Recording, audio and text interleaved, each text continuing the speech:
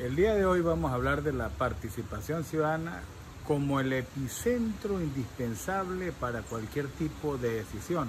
Y esta participación ciudadana se traslada a la participación política y por supuesto a la participación gremial. ¿Qué significa esto? Que todos aquellos que deseen aspirar a un cargo de elección popular, bien sea a nivel municipal, regional o nacional, trasladando esa analogía a los gremios, a un cargo de la Junta Directiva, de presidente, en el caso del Colegio de Abogados, de tesorero, de bibliotecario, de secretario o de vicepresidente, tiene que someterse a la voluntad de los agremiados.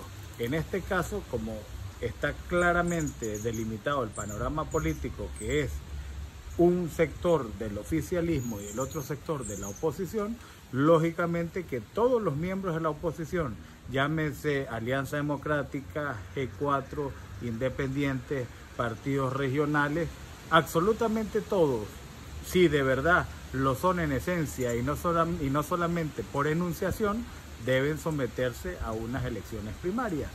Después que salgan electos en las primarias, se conformará la plancha unitaria democrática para adversar, adversar al oficialismo. Los mecanismos de cómo va a ser la conformación de la plancha se deja para otro episodio eh, de discusión, ya que hay múltiples vertientes donde se pueden designar y cómo se puede conformar esa plancha unitaria. Así que nos vemos en su programa Estrado Popular por los senderos de la legalidad.